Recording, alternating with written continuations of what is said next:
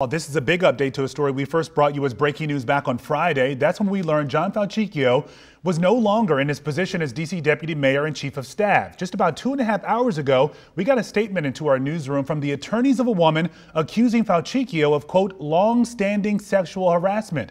Our chief investigative reporter Eric Flack has been digging into this story hours before it broke on Friday. And Flack, you were hearing that Falcicchio's mysterious departure may be related to this, and now, today, attorneys for the alleged victim are going on the record.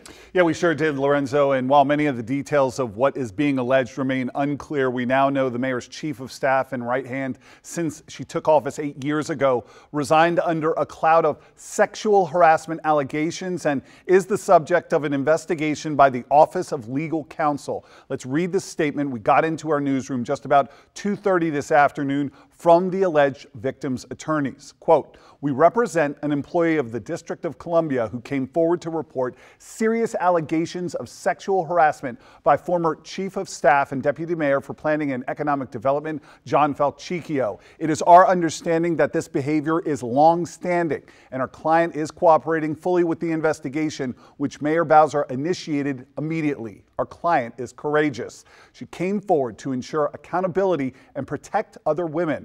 Given the gravity of our client's allegations, which involve unwelcome advances and sexual contact, we ask the media to respect her privacy.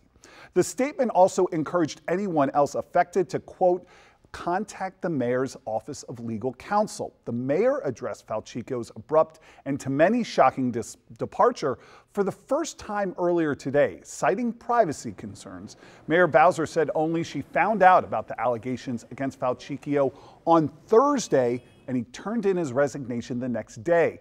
The mayor said she immediately opened an investigation which would be handled by the mayor's office of legal counsel. When asked directly if her investigation was focused on sexual misconduct of any kind, the mayor declined to comment. Here's what the head of her office of legal counsel did say. The scope of the investigation is based upon the sensitive matter. I, I will tell you it's not jargon, but there are privacy concerns. Uh, as any investigation that our office undertakes, we follow our standard policies and procedures, which include um, confidentiality and uh, the integrity of the witnesses and anyone who can come forward and speak. The mayor said at her press conference today it is her expectation all staff will cooperate with this investigation. There are no indications this is a criminal matter right now, but the head of the mayor's office of legal counsel said that if that changes, the investigation would be turned over to law enforcement. More to come, guys. Yeah, it sounds like this investigation into Falcicchio is just beginning and you're going to stay on top of it. Flack, thank you.